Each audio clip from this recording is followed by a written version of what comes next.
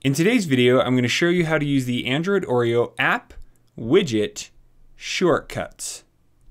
Let's get started.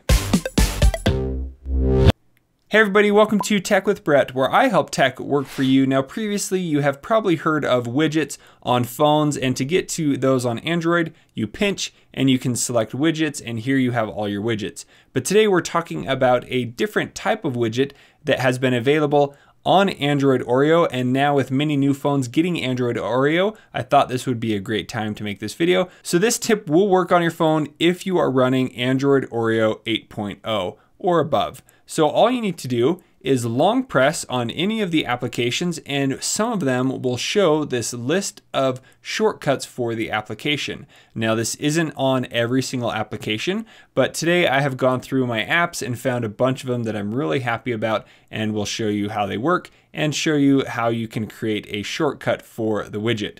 So here in the internet browser, if I wanted to quickly create a new tab, instead of opening up the application and then waiting for it to load, selecting the tab and selecting new tab right here, all I need to do is hold down on the internet and then select new tab and instantly it goes into the web browser and starts that new tab. Well now, if I want to do that action all the time, when I long press on here, each of these can become a shortcut. So now all I have to do is hold down on this or long press and then drop it onto my screen and it shows up like an application. And whenever I want to create a new tab, I would just select that icon and boom, it has opened the web browser and created a new tab. So these will work with any of the app widgets that you find. So here in the phone, if I wanted to create a contact, I could add that to my home screen just like that. Here in the default messaging app, you have create messages. Here in the Play Store, you could go to my apps. Here in the camera, if I want to quickly jump to the selfie, I just drop that right there. And then as soon as I select that, it would jump right into the selfie camera on the phone. Now these also can be added into different folders. So if you have a bunch of actions that you want to create into a folder, they act just like an application you can add them into a folder. So up here, here are some of the Samsung apps that I found that have that. So with Samsung Notes, you could quickly create a note, uh, write with the pen, or record a voice note. My Files, you can quickly go to recent files. Contacts, you could create a contact or go to your groups. Calendar, you could quickly create an event, create a task search. In the gallery, you would be able to search the gallery, and here with clock, you could add an alarm. Now, some of my other favorites that I found is this one with the Google Home app is I could instantly start casting my screen to any of the cast devices that I have nearby. So it opens up that menu and then I just have one click away from casting instead of going into the Google Home app, selecting menu, going down to the cast, and then casting the screen.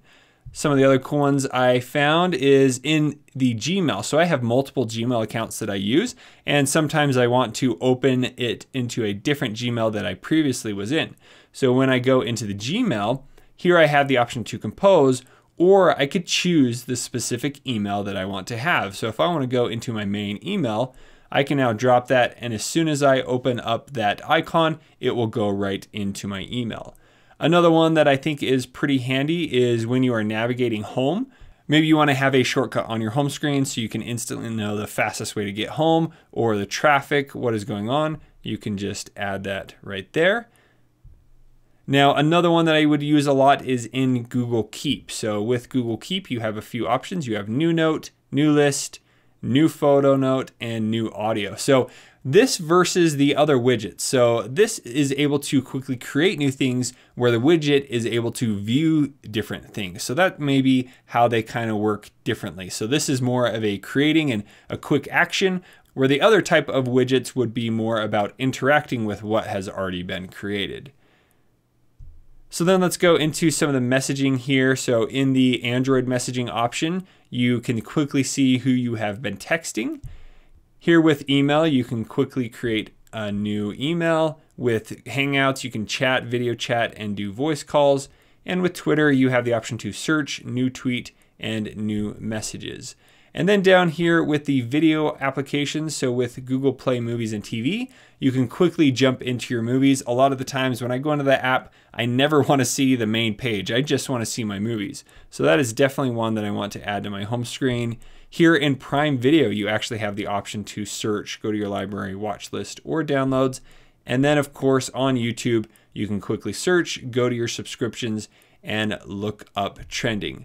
Now, one other option that you do have with these app widgets is if you long press on an app and you have a notification, here you can actually see that notification. Now, this doesn't allow me to add that to the home screen, but then I don't even have to open the application, but I can see my different notifications right there and swipe them away if I don't need them, and then it would go right into that notification, which is pretty handy to have.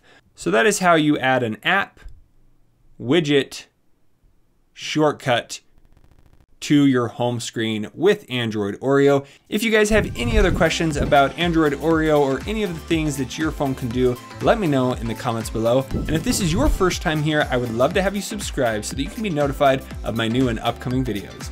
Thank you guys so much for watching. We'll see you on the next one.